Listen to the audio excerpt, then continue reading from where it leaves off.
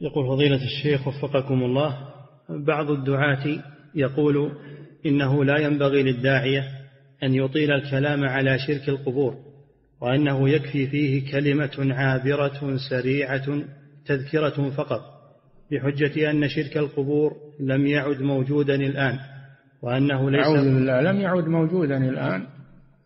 وهل يفعل الآن في الأمصار؟ وش ما هو بعبادة للقبور؟ هذا يجحد الواقع أما أنه جاهل وإلا أنه مغالط. هم يقولون هذول يقولون الآن حاربوا شرك القصور واتركوا شرك القبور. يقولون هذه المقالة. يعني عليكم بالولاة والسلاطين واتركوا المشركين عند القبور. لا تقولوا لهم شيء.